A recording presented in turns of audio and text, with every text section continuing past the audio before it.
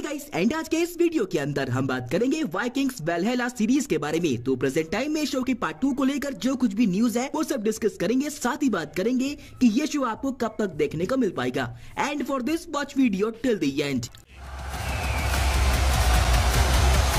अब देखो इस शो का पार्ट वन हमें देखने को मिला था 25 फरवरी 2022 को, जिसमें थे कुल आठ एपिसोड और जिस पॉइंट पर ये शो एंड हुआ था तो वहाँ से लगभग सभी वाइकिंग फैंस पार्ट टू के लिए बहुत बेसब्री से वेट कर रही हैं। क्योंकि शो की एंडिंग फैंस के मन में कुछ सवाल छोड़ जाती है पार्ट टू के लिए कि अब अपने मेन लीड्स का क्या होगा, खासकर ली फेरिक्सन का, क्योंकि उसकी गर्लफ्रेंड मर चुकी है और वो गुस्से से पागल हो चुका है। क्योंकि इसके बाद पार्ट टू में जो हम लीव देखेंगे, वो काफ़ी हद तक एक नया बंदा होगा पिछले वाले से। उसकी सोच अलग होगी और लक्ष्य नया और वैसे भी काफ़ी हद तक फैंस के बीच ये रोल बिल्ड हो चुका है। हालाँकि शो की बॉस जेब स्टुअर्ट ने ये भी कंफर्म कर दिया है कि पार्ट टू में वो इस शो को और इसके यूनिवर्स को और अच्छे से एक्सप्लोर करेंगे। मीन्स पार्ट वन में ये लोग गए थे इंग्लैंड अब पार्ट टू में कहीं और। यानी कि नया देश नए लोग और नई कहानी प्रोबेबली अच्छी कहानी। क्योंकि कुछ ऐसा ही ये लोग कर रहे थे इसकी मेन सीरीज़ में, पर बीच में ही रोक दिया। पर जो भी है पार्ट टू से एक्सपेक्टेशंस हैं। अब देखो इस शो को part two and part three के लिए कब का रिन्यू कर दिया गया था। बस इन्होंने ऑफिशियली कंफर्म किया गीक वीक इवेंट में। साथ ही ये भी कंफर्म कर दिया कि पार्ट थ्री में हमको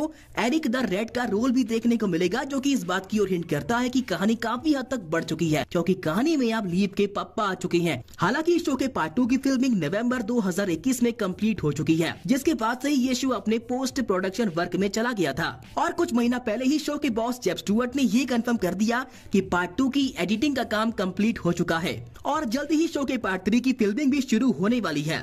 पर सवाल एक ही है कि पार्ट टू हमें कब तक देखने को मिल पाएगा। तो देखो प्रेजेंट टाइम पर इसके बारे में जो अपडेट्स हैं, उसकी अकॉर्डिंग पार्ट टू आपको इस साल 2022 में मुश्किल से ही देखने को मिल पाएगा, जबकि हाईली चांस 2023 के हैं प्रोबेबली फरवरी या मार्च के। हालाँकि इसकी ऑफिशियल डेट को अभी तक कंफर्म नहीं किया गया है, पर फ्यूचर में इसके बारे में जो भी अपडेट निकल के आएगी, मैं आपको इन्फॉर्म कर दूँगा। बाकी आप में से कौन कौन शो के लिए वेट कर रहा है please comment hashtag two तो बस फिर आज के लिए इतना ही, और अगर वीडियो अच्छा लग गया हो तो लाइक सब्सक्राइब एंड शेयर जो की आप में से कुछ लोग तो करते हैं और कुछ नहीं करते तब तक के लिए बाय बाय टेक केयर जय हिंद, जय भारत।